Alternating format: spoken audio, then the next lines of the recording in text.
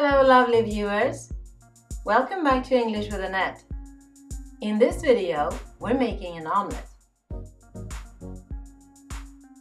Here are some of the things you'll need.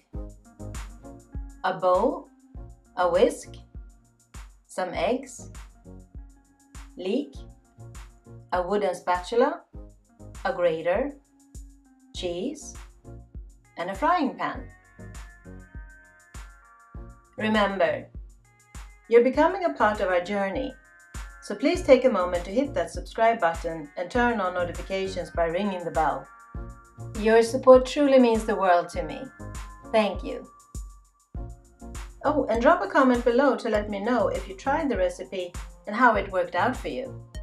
Now, let's get started. We're going to start with a bowl, a whisk, and some eggs. Crack 4 eggs and whisk them. This is what you get. Whisked eggs. To assist you in learning these words, I'll provide a PDF in the description box below for you. You can print it out and write the corresponding word for each herb in your language. The herbs for this recipe are coriander, parsley, tarragon. Add herbs, sea salt and black pepper to the bowl with the 4 whisked eggs. Time for leek.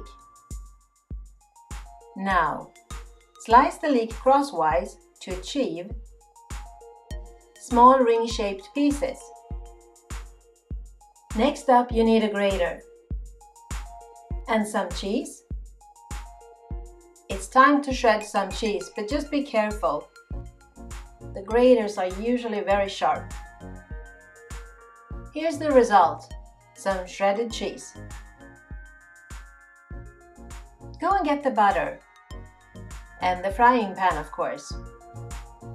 Remember, it's easier to use a small frying pan, such as a 20 centimeter frying pan, especially if you're new to making omelets. As smaller omelets will be easier to flip. I'm pretty sure this applies for pancakes as well. You also need a wooden spatula. I picked a wooden one, as a wooden spatula is often preferred over a metal one for use in a frying pan, because it is less likely to scratch or damage the surface of non-stick pans. Place a little bit of butter in the frying pan and turn on the heat. Also add a lid to the frying pan when you're melting the butter. This will help you save energy as the lid traps the heat inside the pan, preventing it from escaping into the surrounding air. Another way of putting it, the butter will melt faster. Now whisk all the ingredients together and then get ready to pour them into the pan. Not everything at once though. I suggest you use a ladle for this. Do you remember the shredded cheese you did earlier? Now it's time to go and get it and sprinkle it over the omelette.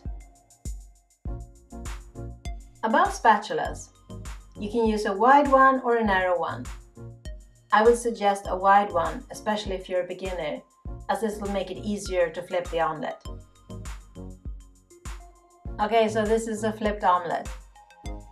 Typically, it takes around 1 or 2 minutes for the bottom side of the omelette to cook before flipping it over to cook on the other side. However, this can vary. If you have a really thick omelette, obviously it's going to take a little longer. So here we are. I just added some veggies. You can add some bread and other veggies, whatever you prefer. The recipe and the instructions will follow, along with a note on measurements. Please feel free to share your suggestions for additional ingredients and let me know if you found the process challenging or straightforward. Did you pick up some useful words in English? If you did, please hit that subscribe button.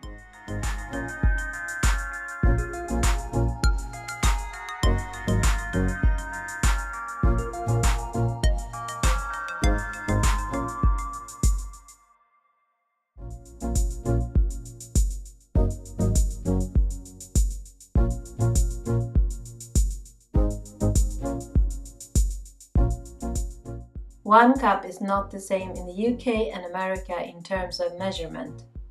In the United States, one cup is equivalent to approximately 240 milliliters. However, in the UK, one cup is often considered to be 10 imperial fluid ounces, or approximately 284 milliliters. So there's a slight difference between the two measurements. But for most recipes the difference is small and won't affect the finished dish. Thank you so much for watching. Until next time, happy cooking! It's important to...